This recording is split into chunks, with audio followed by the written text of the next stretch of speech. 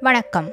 தமிழ் கதை பூங்கா வழங்கும் அமரர் கல்கி அவர்களின் பொன்னியின் செல்வன் ஐந்தாம் பாகம் தியாகச் சிகரம் அத்தியாயம் ஐம்பத்தி எட்டு கருத்திருமன் கதை.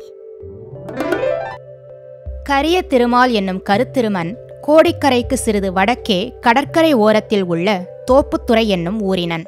அங்கிருந்து ஈழத்தீவுக்கு படகு செலுத்தி பிழைப்பு நடத்தி கொண்டிருந்தான்.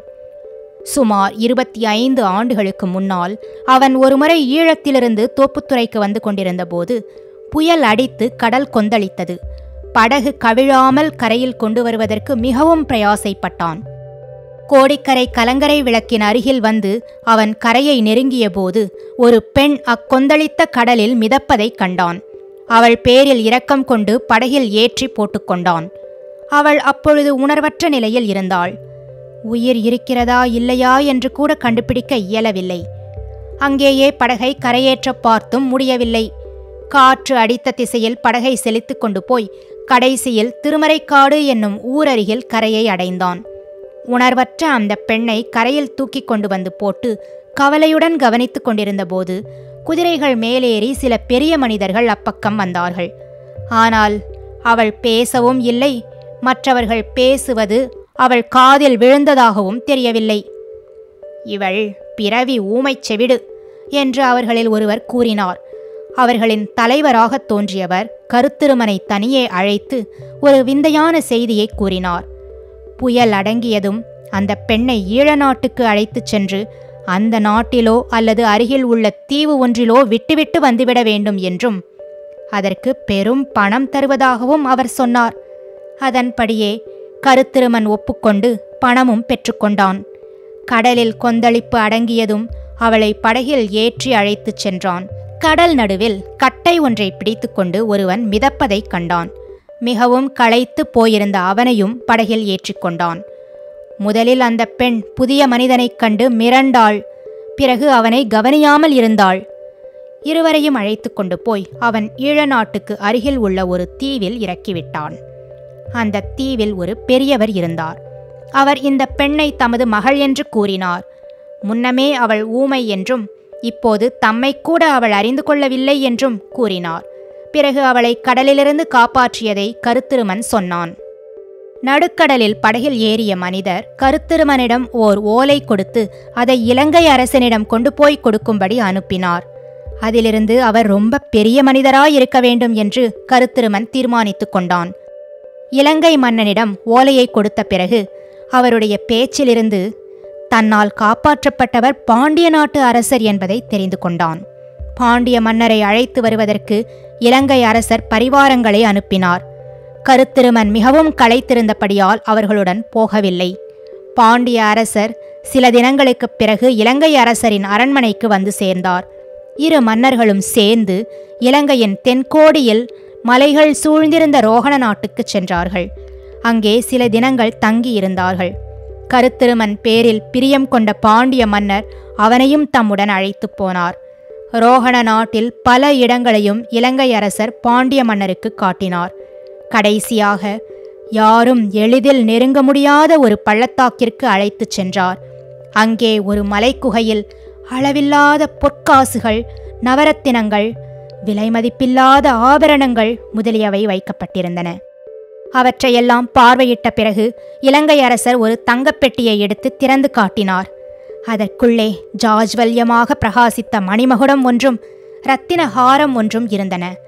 அரசர்களுடைய சம்பாஷணையிலிருந்து அந்த கிரீடம் பாண்டிய வம்சத்து அரசர்களின் புராதனமான கிரீடம் என்றும் இந்த இரத்தின ஹாரம் பாண்டிய குல முதல்வனுக்கு தேவேந்திரன் வழங்கியதாக சொல்லப்பட்ட ஹாரம் என்றும் தெரிந்து கொண்டான். அவற்றை எடுத்துக்கொண்டு போகும்படி இலங்கை அரசர் பாண்டியனை வற்புறுத்தினார். பாண்டிய மன்னர் மறுத்துவிட்டார் சோழர்களை அடியோடு முறியடித்துவிட்டு மதுரையில் தாம் முடிசூடிக்கொள்ளும் நாள் வரும்போது இலங்கையின் அரசரே அவற்றை எடுத்துக்கொண்டு மதுரைக்கு வந்து உலகமறிய தம்மிடம் அளிக்க வேண்டும் என்று கூறினார்.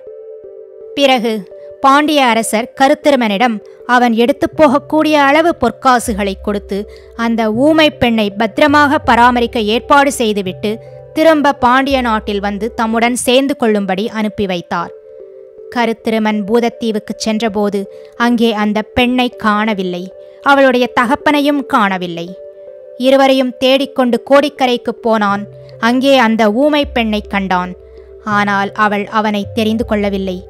அவளுடைய வீட்டாரிடமிருந்து சில விவரங்களை தெரிந்து கொண்டான்.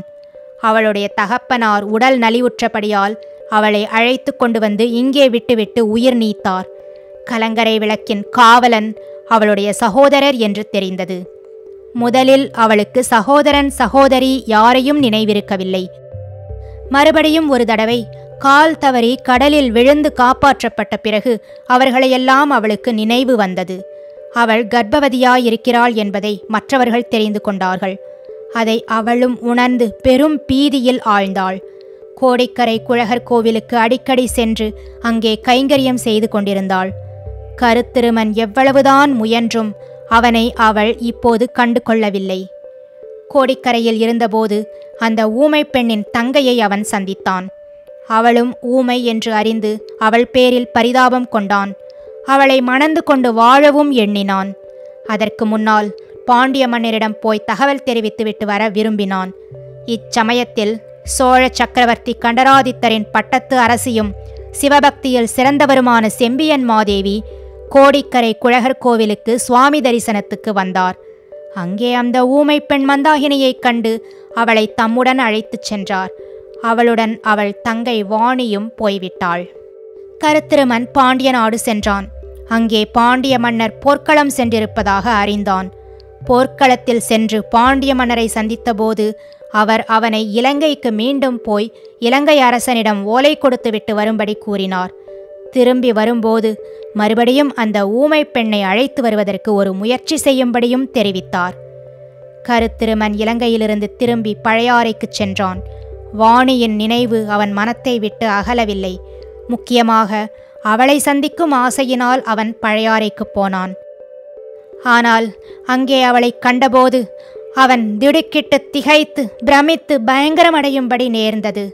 அருணோதய நேரத்தில் அவன் அரசலாற்றங்கரை வழியாக பழையாறையை நெருங்கிக் கொண்டிருந்தபோது ஆற்றங்கரை ஓரத்தில் பெண் ஒருத்தி குனிந்து குழி தோண்டிக் கொண்டிருப்பதைக் கண்டான். அது கூட அவனுக்கு அவ்வளவு வியப்பளிக்கவில்லை. அவளுக்கு பக்கத்தில் துணி மூட்டை ஒன்று கிடந்தது.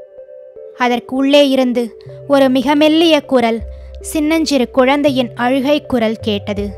எந்த சண்டாள பாதகி உயிரோடு குழந்தையை புதைப்பதற்கு ஏற்பாடு செய்கிறாள்? என்ற ஆத்திர அருவருப்புடன் அவன் அருகில் நெருங்கியபோது குழி தோண்டிய பெண் நிமிர்ந்தாள்.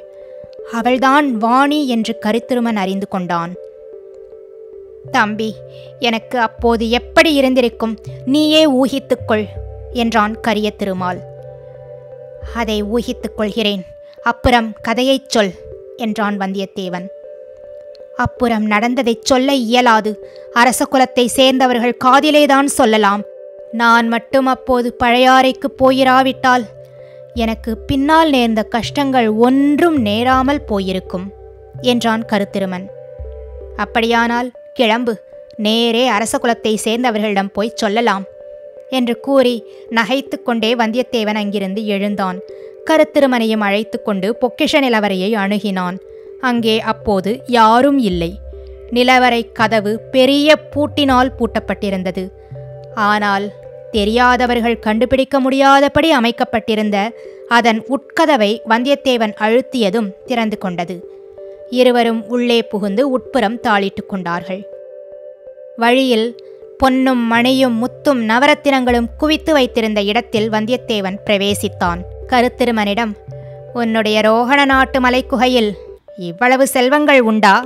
என்று கேட்டான். இதைவிட நூறு மடங்கு உண்டு என்று சொன்னான் கரிய திருமால். வந்தியத்தேவன் சில தங்க காசுகளை எடுத்து மடியில் வைத்து கட்டிக்கொண்டதும் மறுபடியும் கிளம்பினார்கள். நிலவரை பாதை வழியாக வந்தியத்தேவன் முன்னால் சென்றான்.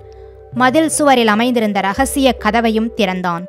அங்கே இப்போது காவலன் யாரும் இருக்கவில்லை. வெளியிலே முதலில் தலையை மட்டும் நீட்டி எட்டி பார்த்தான். வடவாற்றில் வெள்ளம் இருகரையும் தொட்டுக்கொண்டு சென்றது. வெகு தூரத்தில் தீவர்த்தி வெளிச்சம் தெரிந்தது. அந்த இடத்தில் அருகில் யாரும் இல்லை என்று தெரிந்து கொண்ட பிறகு வந்தியத்தேவன் வெளியே வந்தான். கருத்திருமனும் வந்த பிறகு கதவை சாத்தினான். வடவாற்றை எப்படி கடப்பது என்று யோசித்துக் கொண்டிருந்தபோது பக்கத்தில் சாய்ந்திருந்த மரத்தடியில் படகு ஒன்று மரத்தின் வேர்களில் மாட்டிக்கொண்டு நின்றது தெரிந்தது. பொன்னியின் செல்வன் தொடரும். பொன்னியின் செல்வன்கிற இந்த நாவலை உங்கள் எல்லாருக்கும் ரொம்ப பிடிச்சிருக்கும்னு நினைக்கிறேன். பிடிச்சிருந்ததுன்னா ஒரு லைக் கொடுங்க. உங்கள் கருத்துக்களை கீழே கமெண்ட் செக்ஷனில் பதிவு பண்ணுங்க. மறக்காமல் சேனலுக்கு சப்ஸ்கிரைப் பண்ணிக்கோங்க. மீண்டும் அடுத்த அத்தியாயத்தில் சந்திப்போம். நன்றி.